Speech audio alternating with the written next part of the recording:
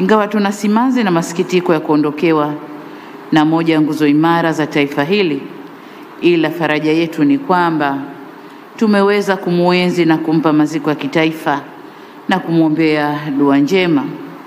Ni jambo analostahiki kwa maana alivyopambania taifa hili. Kifo chake ni pigo kwa taifa na kwangu binafsi kama mkuu wa nchi. Nimeukumbuka msemo wa Kiafrika unaosema anapofariki mzee, maktaba huungua moto. Yaani kila kitu alicho nacho mzee akifariki ni kama maktaba iliyoungua moto, kumbukumbu kumbu zote zinapotea. Lakini pia tunaambiwa CV hairithiwi, ile CV ya mtu hairithiwi. Laiti kama inarithiwa leo kwenye umati huu, ningesimama kumwomba Dr. Hussein, mama zangu na ndugu zangu waniachie mimi urithi huu, lakini kwa bahati mbaya CV hairithiwi. Mtakubaliana nami kwamba maktaba yetu moja kubwa iliyosheheni hadithi nyingi na nzuri imeungua moto. Mzee Mwinyi alikuwa ni maktaba inayotembea na iliyosheheni vitabu vyenye mafunzo, uadilifu, uzalendo, usahamilivu, mageuzi, ujasiri, unyenyekevu na uchamungu, miongoni mwa mafunzo mengi mengine.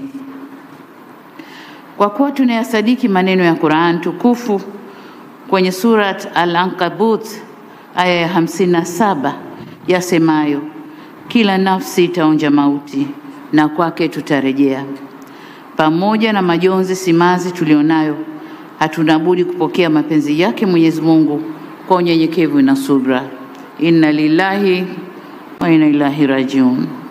Ndugu zangu, msiba huu ni wa taifa, ni wetu, ila ni msiba mkubwa zaidi kwa familia kwa kuondokewa na nguzo yao na mpendwa wao. Juzi juzi hapa nilishiriki maziko ya Rais Hage Geingob kule Namibia, na kila mara walikuwa wanasema jamani, mbuyu umeanguka, mbuyu wetu umeanguka.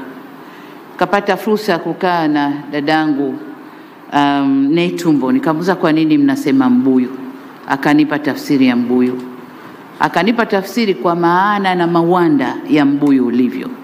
Kwa hiyo na kwetu sisi mbuyu umeanguka kwa maana ya mbuyu, na wasiojua maana ya mbuyu wakagugo waone mbuyu una maana gani, lakini pia mawanda ya mbuyu wenyewe, na mawanda tunayaona hapa kitaifa, wote tulioko huku, kifamilia, wote walioko huku, ni mawanda mapana sana.